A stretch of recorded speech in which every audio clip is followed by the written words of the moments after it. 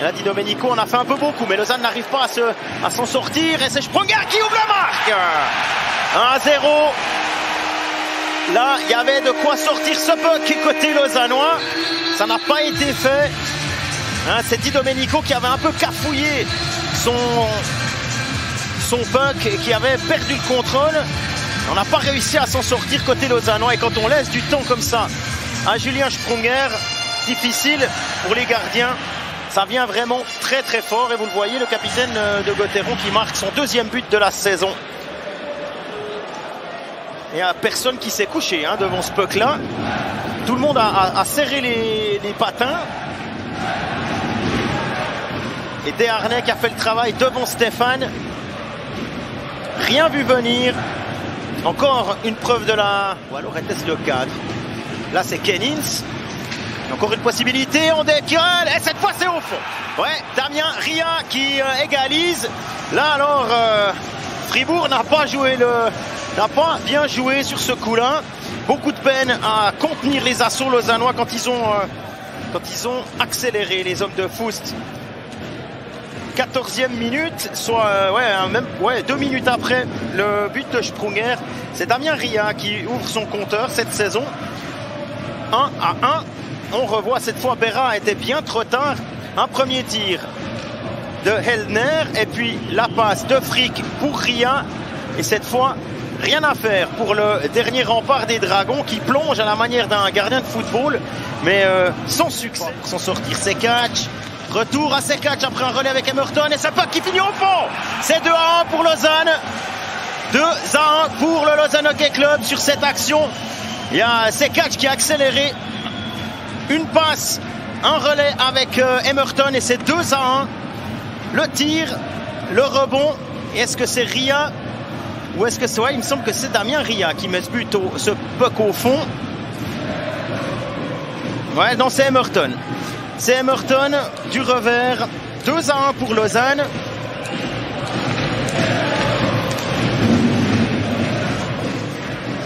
C'est la même ligne qui marque. On joue contre, Fribourg. Genazzi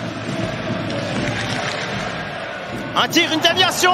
Et ça finit au fond. C'est 3 à 1 en faveur de Lausanne.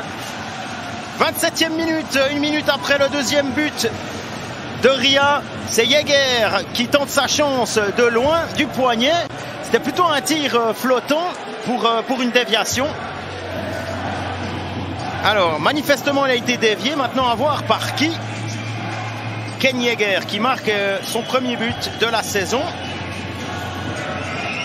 Genadzi, Jäger, il y a du monde, il tente sa chance. il me semble que c'est Samuel Walzer qui, qui dévie.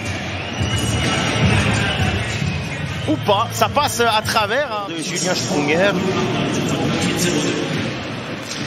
Emerton. Ah, il y a une bonne possibilité là pour Berchi face à Beres et goal Un but à 4 contre 5, 4 à 1 pour le Lausanne Hockey Club. Les premiers sifflets qui sortent des travées de la BCF Arena, 18 secondes et c'est un but de Berchi qui vient geler l'ambiance ici à, Fribourg. 29e minute.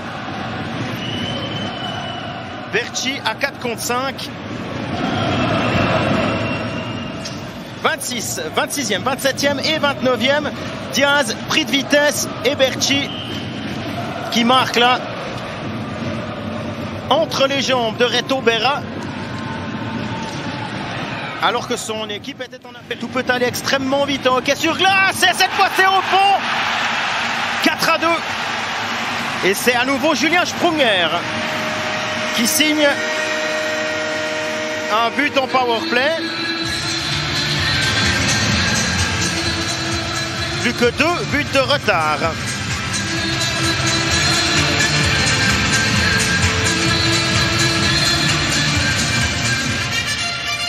La passe de Di Domenico pour le capitaine fribourgeois qui a armé son tir bien assez tôt et qui cette fois envoie le puck Raglas pour marquer le l'année à la Vaudoise Arena contre Genève Servette en prolongation. C'est un but de Fuchs. Kennins. Oh, superbe la passe de Kennins. Et ce même Fuchs inscrit le 5 à 2 quelques minutes, même pas un peu plus d'une minute après le 4 à 2 de Julien Sprunger. C'est 5 à 2 pour Lausanne. On joue la 50e minute. Mais alors le coup d'œil de Kennins et la passe, regardez, il l'a vu, la passe est parfaite.